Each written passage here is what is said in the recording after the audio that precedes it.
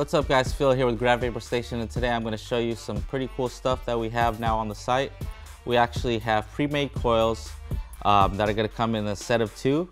Uh, we're going to have them in Clapton, Tiger, and Hive. You know, uh, all of them are uh, going to come in this crush-proof tube right here and they are all made of uh, Kanthal. So uh, these coils uh, serve different purposes. Some of them have a cooler vape and some of them have a more warm vape depending on um, your preference. So they're all gonna be on the descriptions. They're gonna be different gauges. You'll get to choose and pick which ones uh, you like. Uh, right now though, I have in my hand for an example, the Hive 28 gauge uh, coil pack right here that we're gonna be carrying. So let me go ahead and pour these out.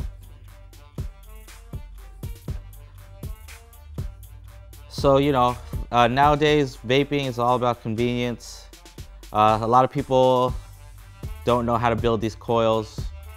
Um, so now we're just gonna sell them pre-made. So all you have to do is just put them in your atomizer, get to go, wake them up, uh, juice them up, and they're good to go. So uh, these ones are called the Hive uh, style coil.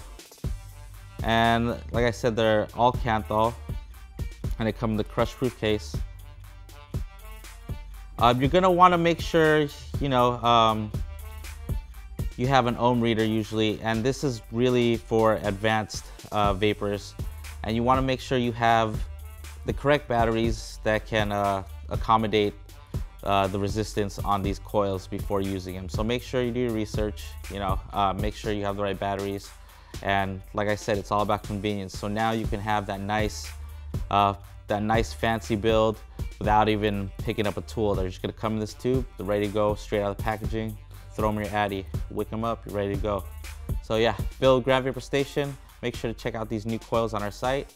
Uh, everything will be in the description for advanced vapers and make sure you have the right batteries. I can't stress that enough.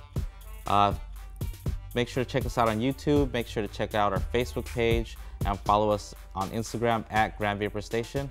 My name is Phil. I'll check you guys next time. Peace.